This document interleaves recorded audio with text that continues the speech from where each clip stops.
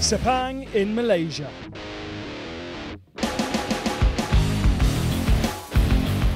The birthplace of TCR International Series, first shown to the world alongside the 2015 Malaysian Grand Prix. Names like Genet, Oriola and Morbidelli starred that day, and a fresh-faced Stefano Comini took his first taste of champagne atop the Formula One podium.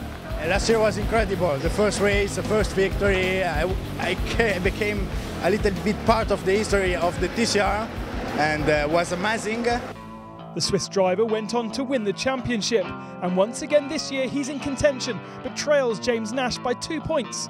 Third in the series is Nash's teammate Pepe Oriola, whilst Comini's teammate Jean-Karl Vernay is fourth. With 28 points between the four, it's anyone's.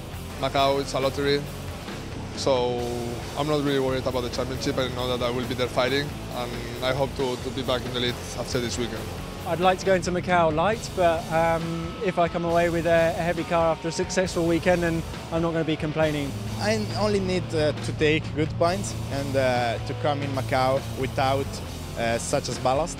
When I need to score points, I want really to come back in the fight. I'm still 30 points behind. The TCR International Series paddock is a friendly place, but as the fight hots up in the humidity of the Sepang sun, our drivers have their game faces on Bigger smiles for TCR Asia Series, joining once again.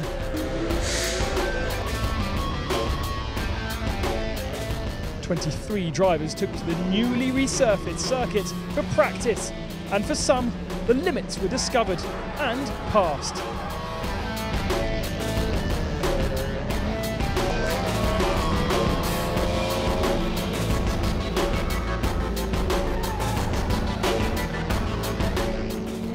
Fastest was Spaniard Pepe Oriola by half a second.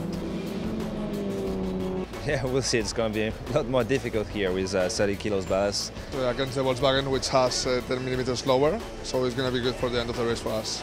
Some changes to last year, I've been told. Um, smoother in the braking zones, uh, some new tarmac, and if we do have some rain, then uh, better improvements on the water dispersion.